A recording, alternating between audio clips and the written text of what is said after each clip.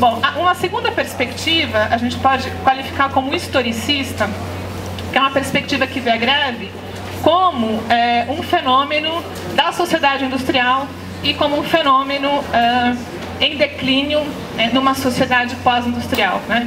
Então, é, uma vez que nós não viveríamos mais numa sociedade industrial, na sociedade atual não haveria lugar para a greve. A greve seria algo ultrapassado, seria algo superado. Né? É, ao ser algo superado, a greve, mesmo a greve econômica, né, ela seria considerada como algo uh, corporativo, como, algo, como uma manifestação uh, egoísta né, de uma categoria.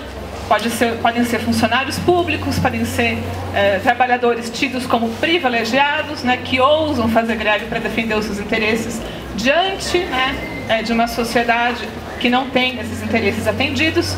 Portanto, essa perspectiva historicista, que vê a greve como algo superado, contrapõe interesses econômicos corporativos a uma, uma concepção de bem comum. Né? Então, a greve ela é recusada, ela é deslegitimada nesse sentido, né?